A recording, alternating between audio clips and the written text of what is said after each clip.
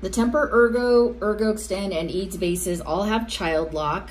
There's two versions. The old version has a black label on the back. The new version has a white label with orange trim.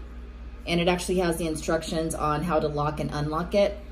Sometimes what happens is that people accidentally sleep on the remote, they sit on the remote, and they lock the remote without knowing. So to lock the remote, you're gonna push head up and foot up. You're gonna push and hold for about six seconds and you're gonna see that the remote is going to blink twice. So the remote is now locked. If your remote is locked, what you'll need to do is unlock it. And so what to unlock the remote, you're gonna push head down and foot down, push and hold for six seconds. It's gonna blink once. And then you're gonna follow up and push head up and foot up.